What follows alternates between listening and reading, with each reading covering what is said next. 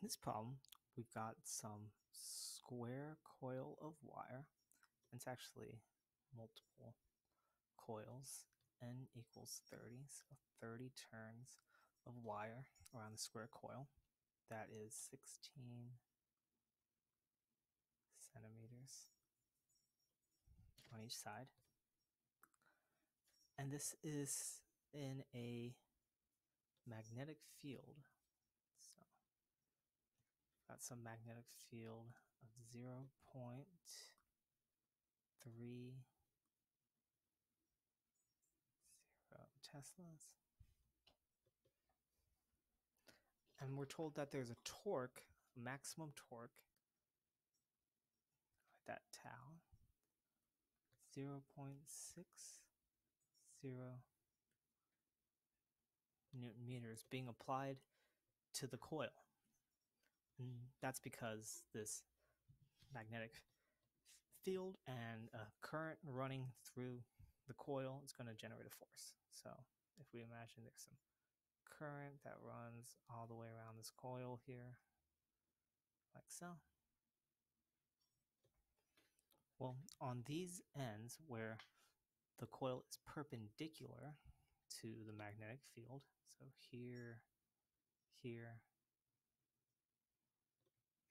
it's perpendicular, then that's where you're going to get the maximum force between them based on the right hand rule, if you recall.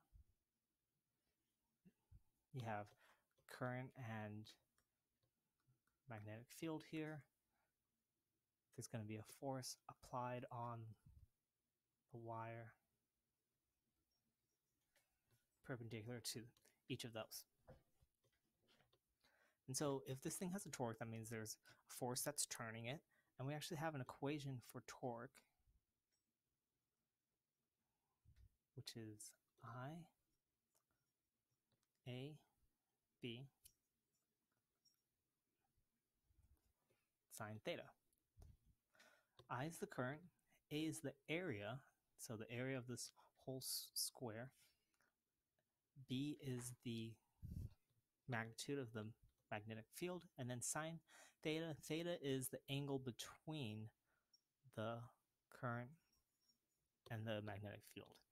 Uh, in this case, we're looking at a maximum torque, so that means that sine theta has to have its maximum value, theta equal to 90, and then sine of 90 is just 1.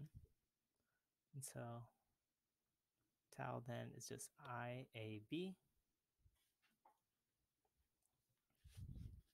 And then we actually multiply by n because each one of those coils is going to experience this torque and it's magnified. You know, we multiply 30 times for each one of those 30 coils feeling this same torque.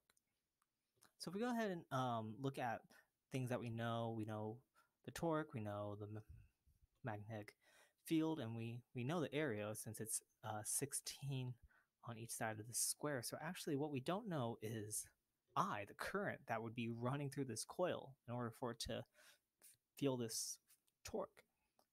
So what we could do is solve for I. Divide by the area, magnetic field, number of turns. And then I, current in that wire, is just torque divided by area, magnetic field, and number of turns in the wire.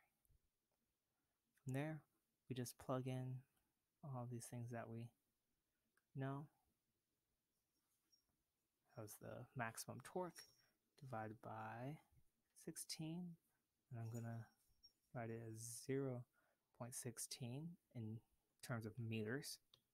Square it because that's the area of the square, 16 centimeters times 16 centimeters.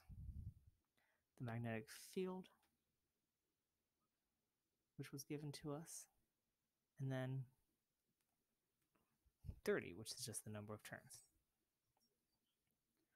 If you plug all that in, then we'll be able to solve for I.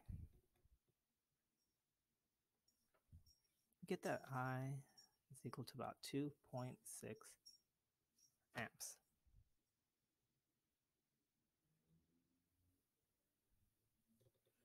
And that's one piece of information that we can learn about the coil based on everything that we were given.